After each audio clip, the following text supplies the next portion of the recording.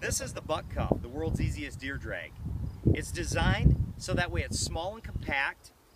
It can fit right in your pocket as you're hunting, just like this. And then when we get to that part where we've either shot with a rifle or a shotgun or a muzzle loader or our bow, this gorgeous animal, and now we're ready to retrieve it. But the problems begin. They're bloody, they're wet, they're muddy, they're tough to hold on to. As you know, when you're dragging a deer, your hand wants to slip off those hooves. And the weight of the animal is another challenge in itself. So you take your buck cuff out of your pocket. It's designed to be used in a very simple fashion. So what you're going to do is you take the cuff out, you take your hand, you slip it through the adjustable harness, gripping onto the buck cuff as tight as possible.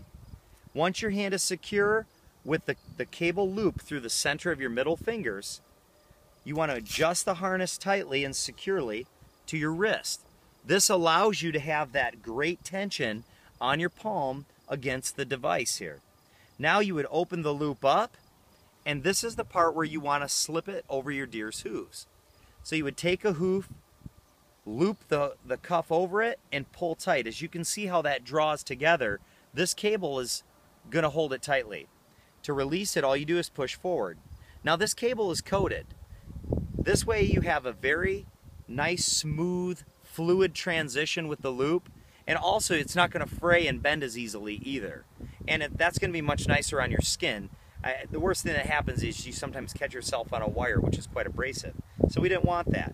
So you put your hoof through again and pull tight.